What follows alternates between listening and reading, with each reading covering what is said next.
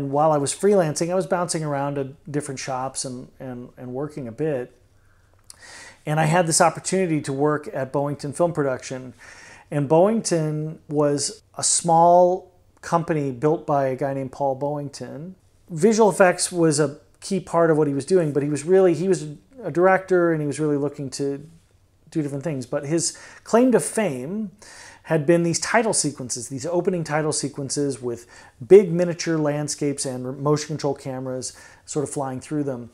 And he had done um, this Rick Dees talk show, uh, this radio personality guy, um, flying through there, and he had done uh, this HBO um, open that was kind of famous at the time, and people paid a lot of attention to. So, so he was like, if you were doing that kind of shot, he was a guy that you went to because he um, had proven his kind of aptitude at designing those kinds of shots.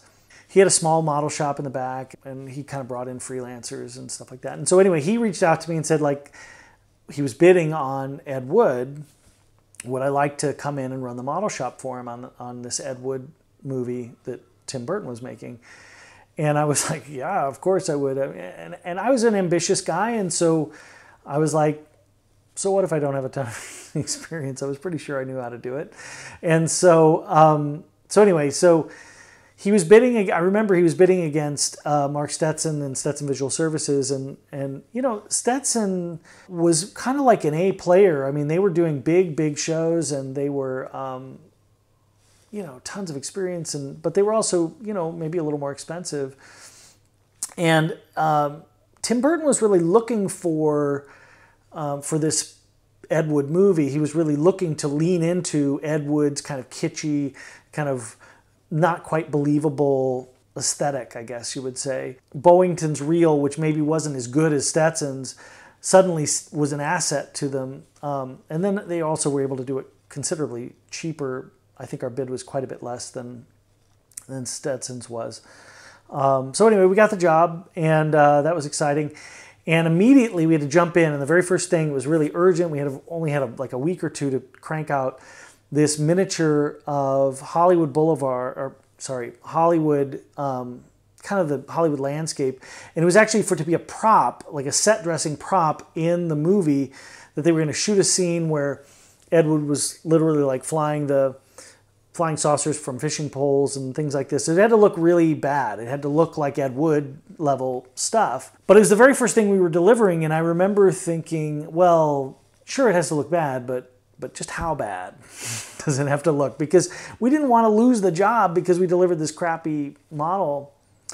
Um, so as we worked with the production designer Tom Duffield to try and like set the level of just how bad it had to be.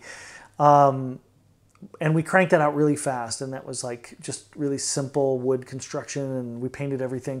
The whole movie was black and white and so we actually they even the sets that they had built um, they painted in in shades of gray and and so we did the same thing with the miniatures that we built for them. Everything was just shades of gray. We didn't do anything in color.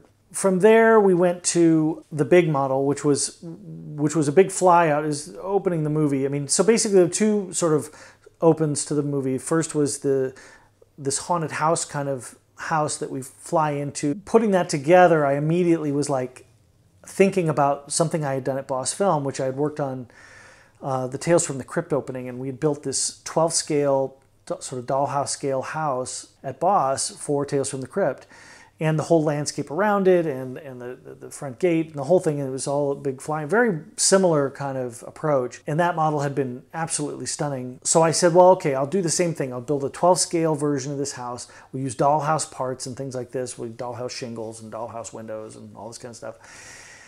But Paul um, uh, Boyington, uh, you know, he was kind of like on the fringes of the of the, the mainstream visual effects business. But I felt like this, you know, this thing had to look great and I knew it had to look great. And this was a big shot for Paul. So made the argument that we should bring in one of my friends from Boss to build that house. And, and so that's ultimately what we did. We got uh, Kento Gebo to come in and build this house for us. And he did an amazing job on it. It's beautiful. Piece. Little motion control windows that would open when the camera came up close and, and, and things like this. So that was the main, you know, kind of kickoff. And I remember we spent a lot of time on that tree, making sure the tree uh, in the front, which is all manzanita branches and kind of glued together and painted and whatever. And we, I spent a lot of time on that with with the production designer, trying to really kind of nail Tim Burton's aesthetic, which is a very specific kind of tree which we now kind of, I think, looking back on it, we know what that is. But at the time, it wasn't quite as obvious to me. And then we turned our attention to the big Hollywood miniature. So it was tricky, right? Because I, I had never, I'd worked on a bunch of stuff with people, but I'd never really set something up from scratch. You know, as the lead on this project, I, I, I was sort of confounded initially with how to plan it. Uh, we had to find a scale that would work for this thing. And, and basically what we ended up doing was a forced perspective model. So the, the, the mountains were not that big. And then we started with kind of like uh, HO scale cars and small little stuff on the freeway, and then worked our way toward back towards I, I, I believe it was 48 scale. I think at the at the front end of the model. It was all designed around the camera move that we had figured out for how to do this. I remember Burton wanted the thing to look kind of funky, like he wanted it to look like he wanted bumps in the motion control move and all that kind of stuff, and we we were just like, yeah, we're not not doing that. But you know, the scale itself kind of lent an air of funkiness to the whole thing. So it was kind of what he was looking for, I think. In building it, you know, we had to start with the mountains, and I think the way you would typically build mountains like that at that time was uh, uh, wood form with chicken wire on it, and then you'd spray foam it, carve the foam, and uh, and then paint it and stuff like that. And and we we couldn't afford the foam we couldn't afford the foam. I mean, I think that because our budget had been really kind of con- constrained, I mean, um, by the bidding process, we we basically we were like, well, we can't afford the foam, and so Paul Paul was like, well, I you know why don't you use um, aluminum foil and just paint it? And so we just crinkled up. We did the, the wood form and the chicken wire, and then we just basically crinkled up aluminum foil and we put it all over the chicken wire with spray adhesive and painted it. And actually, it looked all right. I mean, it didn't hold up very well over time, but you know, it just had to work for this one shot, so it was a, sort of okay. And then we had the freeway, which you know had little cars on monofilament on the stepper motors, uh, just simple kind of simple tricks to kind of give some movement to things. Lots of like Christmas lights. We were just using Christmas lights for background city lights and stuff like this. And then once you get down into the street, then we you know now we're dealing with proper buildings and things like this. But we really wanted to focus on the iconic buildings that you would remember because um, we didn't want to spend a lot of time, um, you know, on, on other buildings, kind of your mind's eye remembrance of what Hollywood might be. I did a ton of research on Hollywood at that period of time, but ultimately it was like it had to cram into this set that was fairly small. so, so we sort of picked all the big buildings that you wanted to see that you kind of remembered and stuff like this. And then I remember we spent a bunch of time on on we, we couldn't do neon we couldn't do miniature neon um, our scale was way too small for it, and our budget was way too small for it too. So we used uh, grain of wheat bulbs and just and just we would just pepper them around the sign, so they kind of the scale was a little little dodgy, but it, it worked all right. One of the things that was interesting about Ed Wood uh, on that model that I, you know, it was a little bit hard to put your finger on. It was sort of like it, it just looked it didn't look real until we put in all the palm trees, and we had to make a ton of palm trees because we sort of did the math and there's you don't even think about it because palm trees in Los Angeles are kind of ubiquitous and they're just you just sort of ignore them at a certain point but they're all over the place there's a palm tree every like 15 20 feet or something it feels like and, and there, there are a ton of palm trees and so we had to come up with a clever inexpensive way to make palm trees miniature palm trees.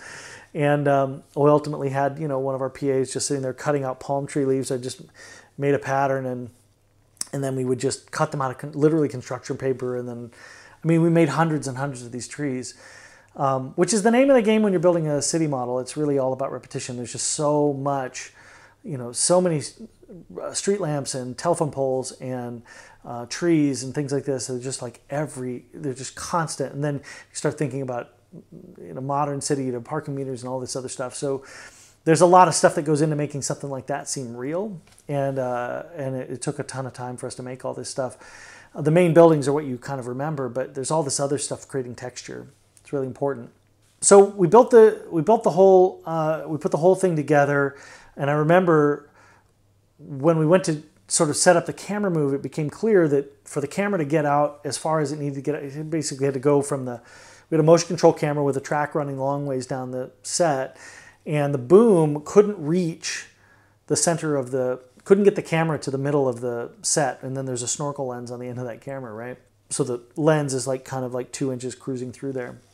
We couldn't get the camera out far enough so we had to build an extension for uh, paul Boyington's motion control rig which was pretty wanky setup and so um, it meant we had to shoot really really slow both for the depth of field but also to, kind of let the camera settle before we would take an exposure and so uh, shooting this model would take like 18 hours passes or something like this. And we were shooting black and white film.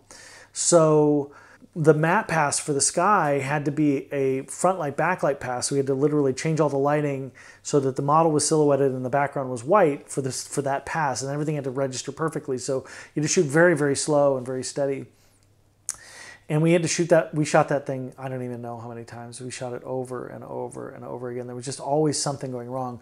The you know we'd go one time and the cars wouldn't move or we'd go another time and the and the uh, the one of the lights on the one of the buildings would go out or something like this.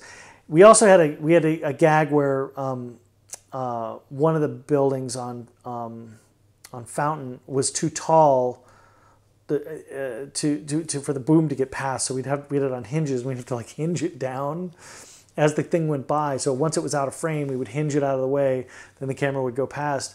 But that thing had to register perfectly every pass, otherwise it wouldn't line up. So then I remember we also had rain. Rain was a part of this whole setup, and so Paul had this idea to do miniature rain and so we actually got misters and created mist, like a ton of mist, uh, uh, on all on black, and shot the same camera move just to get rain that would line up to the plate. Paul's shop, if you can call it that, that would be generous, was basically sort of like working out of a storage container. It was it was it was like a when it would rain, you had to be careful where you left your tools because they would your toolbox would literally fill up with water water, and that's happened to people. Um, we I had I made him buy a proper table saw, so we had a good table saw that we could cut do straight cuts. But like almost everything else in the place was like pretty rusty, dodgy stuff that he had gotten at garage sales or something. I don't even know. Um, and he had been in business a long time, so like there were a lot of like he had upstairs in the attic. He had all this old stuff that you kind of a hoarder's paradise up there that you could go and just find things and find materials you needed or find, you know, I remember we were doing the lake and we found like an old piece of rippled plexiglass and you know just like that had been used for something else and just tore it off and the smaller shops tended to run that way. Fantasy 2 had a similar kind of thing. But this was like a whole nother level of this and and uh, I remember we I sent one of the guys up to like root around through the molds to see if we could find anything useful for something we were trying to build. And, and he comes down and he's like, I think I was just bit by a spider. like it ended up being a brown recluse spider and he had to go to the hospital and like some kind of like crazy thing with his veins and stuff like this. But that was just another day at, at Boyington. I mean, that's what it was like. It, it was always, it was just like a crazy place. And we, we, we weren't paying people very well. So um, people were on 14 hour flat deal memos. which is not normal. And um, and so you know, in 14 hours was a normal day there. I mean, it was common that we were working even more. We were just, but I was just busting my ass. I just wanted to try and do a great job. I really thought this was kind of my shot to kind of elevate my uh, my station in this industry. And um, and so you know, I was really trying hard to to do it. Um, ultimately, we got the we got the big shots done, um, and and things were were good. We were wrapping things up. I had another show to go do somewhere else, so I left. Uh, some additional stuff came up. Burton wanted to do his title sequence, which was through a graveyard. My sort of second in command uh, during that entire job was Jeryd Pojawa, and he was amazing. And so he stayed on and kind of like ran that shop for the additional stuff that was done. I was a big fan of Tim Burton's, and I was excited because Edward Scissorhands and Beetlejuice and all these movies had had had been there, and and then we got the dailies. We got some dailies for um, for Ed Wood while we were working, And we were so excited because we were like, man, we're working on the next Tim Burton movie. This is going to be awesome, which it ultimately was. But we got the dailies and we were just like seeing Johnny Depp in an Angora sweater, like with this weird voice. And we were like, what have we gotten ourselves into? What is happening? This is going to be, the, I don't understand. but in the end, the movie makes sense and it was incredible.